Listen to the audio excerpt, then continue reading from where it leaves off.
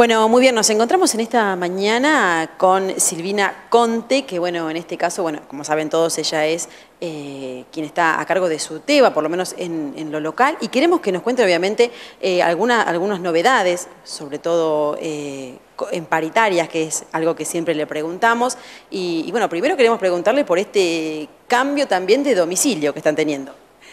Buenos días, sí, estamos acá en la nueva sede, que bueno, todavía estamos terminando de condicionar y de acomodarnos, pero bueno, invitamos por supuesto a todos los afiliados que pasen y bueno, tenemos acá un, salón muy grande, ya vamos a comunicar, vamos a, a dar talleres, tenemos realmente un espacio más grande que va a servir para que todos los afiliados también puedan usarlo, puedan ser parte, puedan sentirse cómodos, bien y tener este, espacios y momentos para, poder disfrutar de, la seccional.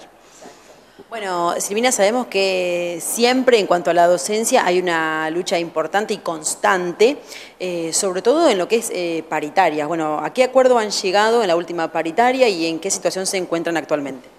Exactamente. Bueno, eh, vamos a remontarnos para atrás, que la última paritaria del 2022 fue el 29 de diciembre, porque habíamos llegado al aumento anual de un 95%, pero ¿qué pasó? Cuando llegamos a fines de diciembre la inflación nos había superado y lo que se había acordado y que siempre decimos que queremos es la que queda acordado en el acta de paritaria es la cláusula de monitoreo, ¿por qué? Porque el sueldo no puede quedar por debajo de la inflación. Entonces, en ese momento se dio el último aumento que se cobró ahora el 7 de febrero retroactivo. ¿Por qué? Porque era a partir del 1 de diciembre.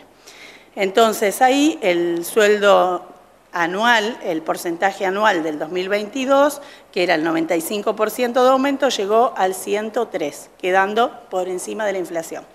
Ese último aumento, bueno, los jubilados, por supuesto, siempre lo cobran, lo cobraron antes porque cobraron la, última, los dos últimos días de enero. Los activos eh, lo cobramos el 7 de febrero y se cobró retroactivo el aumento de diciembre y de enero. Empieza un ciclo lectivo nuevo, año nuevo y otra vez eh, necesitamos esto tan importante que son las paritarias donde se puede discutir y ver el, sueldo docente, entre otras cosas, pero bueno, la salarial que es lo del sueldo docente. Eh, el 31 de enero fuimos convocados por el Ministerio de Trabajo a la primera comisión paritaria salarial y ahora estamos esperando, ahí se planteó, que planteamos desde los sindicatos, que bueno, que el cálculo que se haga ahora para el sueldo tiene que ser con base de la inflación de enero 2023. Y el segundo semestre será basado en el cálculo de junio. Eso es lo que se pide porque siempre seguimos insistiendo con que el sueldo no puede quedar debajo de la inflación.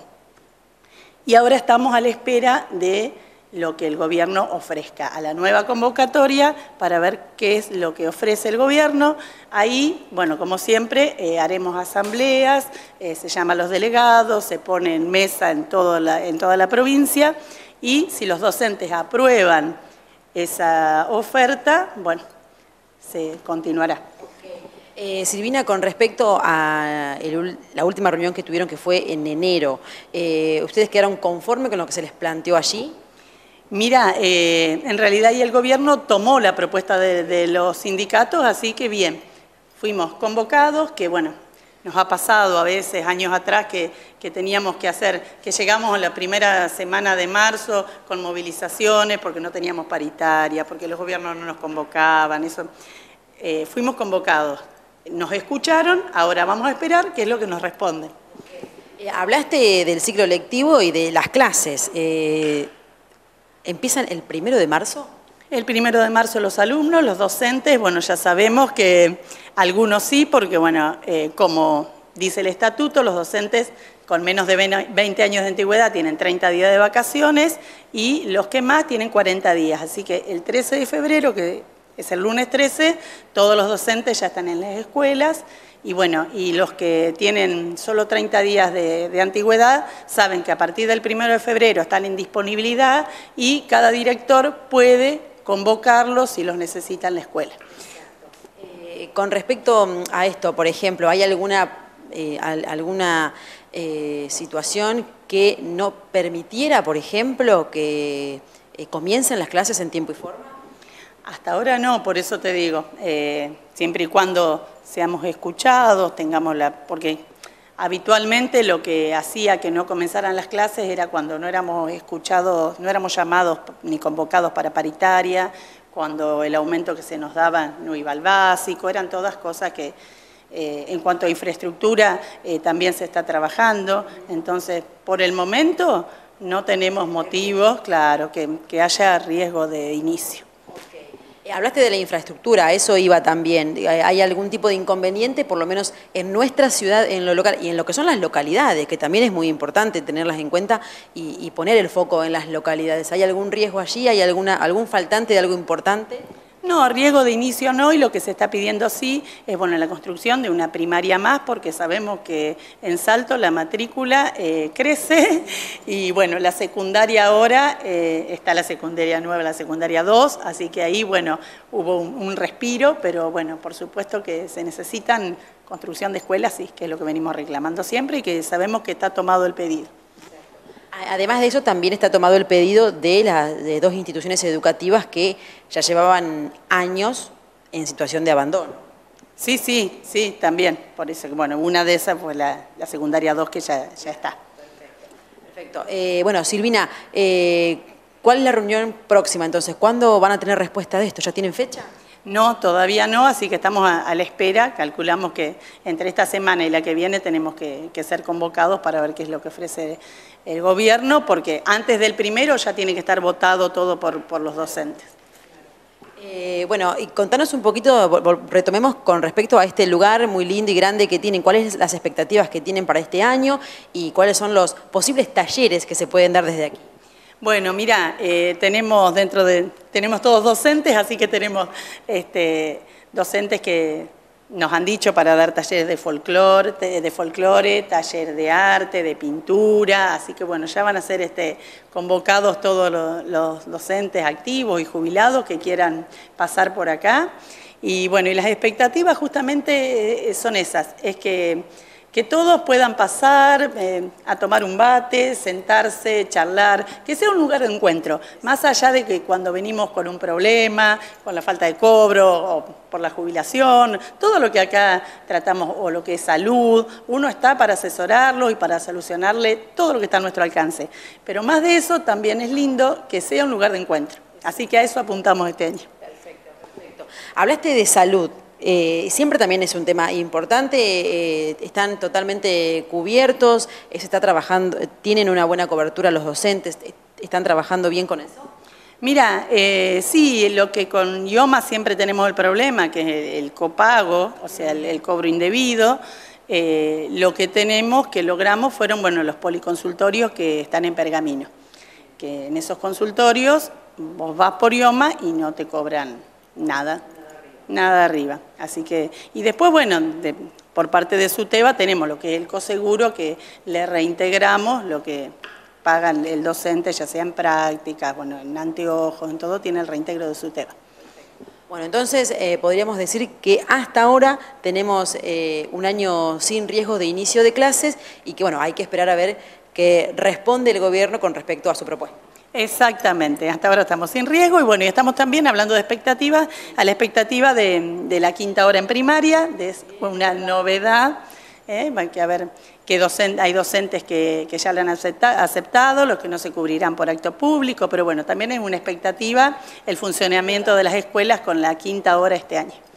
Eh, ¿Ya está decidido que algunas escuelas de primaria de nuestra ciudad ya den esa quinta hora? Sí, la mayoría sí, sí, todas las que han podido organizar eh, los horarios de acuerdo a, los niveles que tienen en la institución o con quien comparten, todas las que han podido organizarse, sí, inician con la quinta hora. ¿Se sabe cuáles son? Eh, mira, hasta el momento, si no me equivoco, las que no podían eh, organizar para tener la quinta hora era eh, la Escuela San Martín, que tiene los tres niveles, y creo que la primaria 7, que comparte con la secundaria 4, me parece que tampoco podían. Las demás, eh, creo que, si no me falla la memoria, creo que todas. Eh, los docentes, ¿están de acuerdo todos con esta quinta hora? Y mira, los docentes la verdad que como podían optar, el que estaba de acuerdo la pudo tomar y el que no, no, y esa quinta hora la toma un suplente. Entonces, como porque ese fue también uno de los temas que nosotros a, nivel gremial tomamos que no se los podía obligar al docente a trabajar una hora más. Entonces, una hora aparte se la pagan como la hora de profesor y la toma quien quiere, no es obligatorio. ¿Y has escuchado tal vez a padres eh, con respecto a eso? ¿Tienen, están, de acuerdo con eso?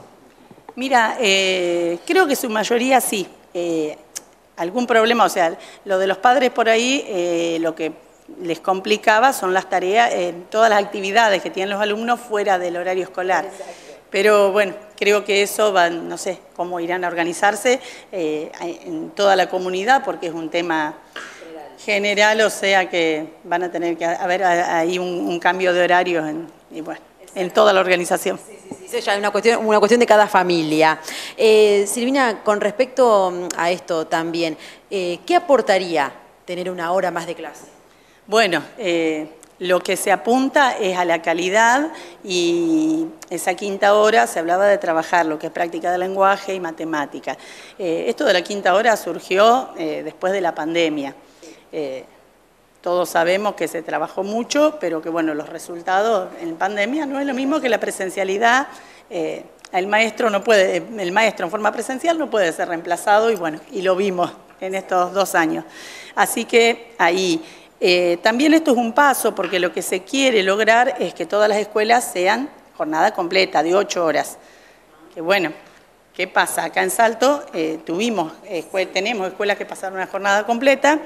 Eh, pero ahí que volvemos otra vez al tema de infraestructura. No todas las escuelas tienen el espacio para poder ser jornada completa. Entonces, en ese intermedio va esto de la quinta hora.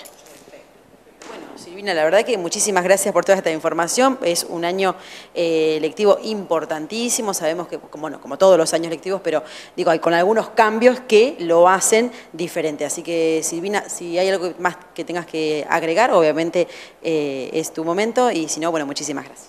gracias a ustedes y bueno, gracias por poder acercarnos y comunicar a toda la sociedad todo lo que las novedades que tenemos desde el sindicato. Gracias a ustedes.